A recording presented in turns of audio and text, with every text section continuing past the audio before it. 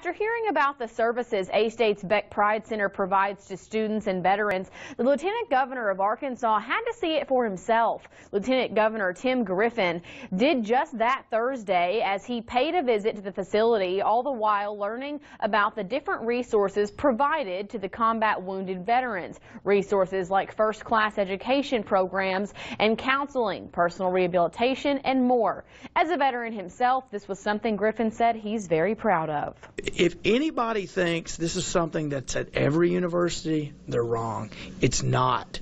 This is a treasure. This is rare, and we ought to make it known more around the state and around the country because this is what we ought to be doing. For, uh, he later received a briefing on the Veterans' program by Center Director Linda Nash. Lieutenant Governor Griffin said the main thing he loves about the Beck Pride Center is that it is a place for students and veterans to come and feel like they belong in this society.